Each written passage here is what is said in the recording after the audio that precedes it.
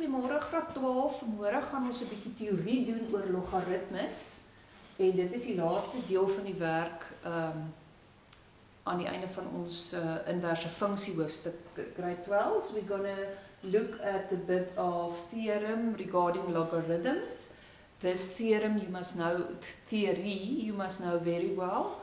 Ehm um, hierdie hierdie leerwerk moet ons baie goed ken sodat ons logaritmes kan toepas binne in ons inverse funksies. So let let's quickly look at this learning work. If we've got log bx equals c then it means b to the power of c equals x. As ons gaan kyk na die log bx is c, dan is x gelyk aan b tot die mag c. And that you must know very well. Kom ons kyk wat is net baie belangrik wat ons moet weet. b moet groter wees as 0 en b mag nie gelyk aan 1 wees nie. Very important. b must be bigger than 0 and b cannot equal 1 and then x must be greater than 0. x moet 'n positiewe getal wees. So wat is b? Wat noem ons daai b wat so onder die log insak?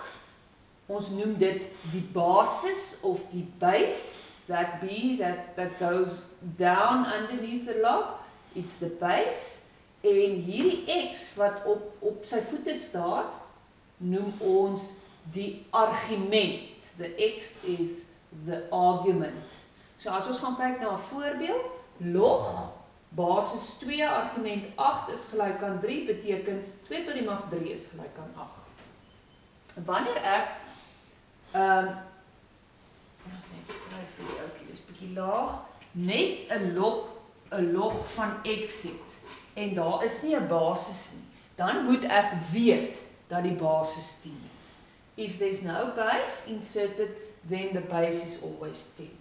So as ek nou gaan sê solve for x and b to the power of x equals c, dan kan ek dit gaan oorskryf en gaan sê x is gelyk aan die log b van c. And then I can put it into my calculator and I can determine the exponent x. Okay, goed. Dan is daar 'n paar eksponentwette wat jy moet ken. Uh, a few exponent laws that you must know. Um, let's look at the first one. The first one says log bx plus log by equals log b x times y. Die log van bx plus die log van by is gelyk aan die log van b x maal y. Byvoorbeeld, log van 6 9 plus die log van 6 4 gee vir jou die log van 6 en dan maal ek 9 met 4 van 36. En as jy dit in jou sakrekenaar gaan insit, dan kry jy is gelyk aan 2, want 2 tot die mag 6 is 36. The second rule, the minus rule, the log of bx minus the log of ba equals the log of b and then it's a division x divided by y. So as ons gaan kyk na 'n voorbeeld, log van 40 minus die log van 4 is gelyk aan die log van 10 en dit is gelyk aan 1. As daar nie 'n basis is nie, dan weet ons daar is mos 'n 10. So onthou dit baie goed. Then the third law, the third law is um where we've got an exponent log basis b argument x to the power of n is ook gelyk aan en dan skuif jy die n vorentoe n log bx. If you if you um, um, take an example of that, it's log base 5 argument 8 equals and then you can replace the 8 with 2 to the power of 3 en dan het jy 'n eksponent 3 wat jy dan kan vorentoe skuif. Dis ook gelyk aan 3 log 5 2. So wanneer ek die fourth law, die vierde wet sê die log cx kan jy ook gaan skryf as die log van bx gedeel deur die log van bc.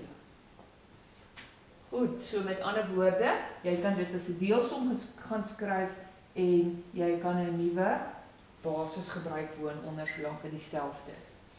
And then there's 1 2 3 4 statements that you must know very well. Hier is net 3 definisies wat jy baie baie vier definisies wat jy baie goed moet ken graad 12s en dit is as my argument 1 is, maak nie saak wat my basis is nie, dan is my antwoord altyd 0.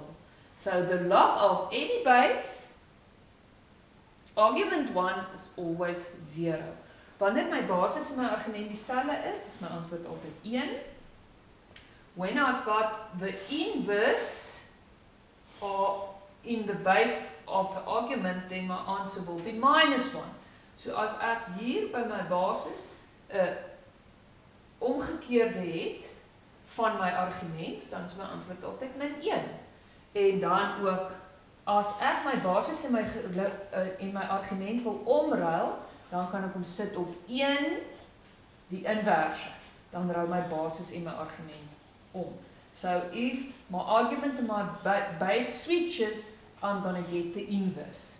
1 on log BC. En dis die leerwerk van logaritmes wat ons alles baie goed uit ons kop uit moet ken.